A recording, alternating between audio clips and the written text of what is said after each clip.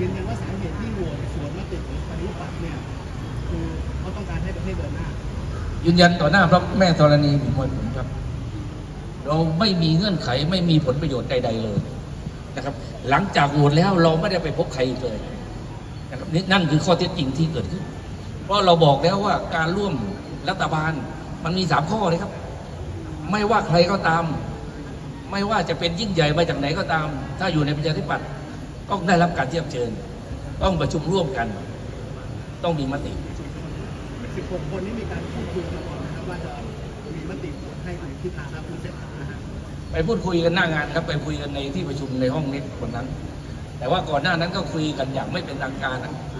ก็วันนั้นหลายคนบอกว่าโหวตให้เถอะแต่เหนือในที่ประชุม ถ้าชวนก็ได้ยินนะหลายคนบอกว่างดออกเสียง แต่คนที่บอกว่าไม่เห็นด้วยก็ท่านชวนคนเดียวที่ลุกขึ้นมาพูดครับ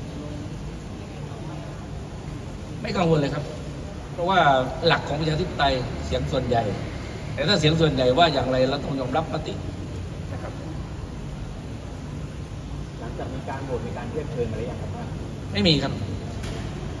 ถ้าท่านยืนยันว่าในวันนั้นก็คือการการประชุมร่วมกันที่มีท่านบุญมีด้วยยังไม่ได้มีมติว่างดออกเสียงถูกไหมครับผมผมผมคิดว่าเป็นอย่างนั้นนะครับ เพราะว่าท่านจุลินทร์เกรงใจท่านชวน ท่านก็เลยบวชออกมาแล้วเนี่ย มันหนึ่งต่อยี่สิบสี่หรือหนึ่งสองต่อยี่สิบสามท่านคงคิดอย่างนั้นท่านบอกจะโหวตนะเป็นอะเอกสิทธิ์ของสสแต่หลายคนเข้าใจว่าเป็นมตินะ หลายคนเพราะว่าด้วยความเกรงใจกันนะครับ เกรงใจผู้ใหญ่กัน นั่นคือข้อเท็จจริงที่เกิดขึ้นในวันนั้น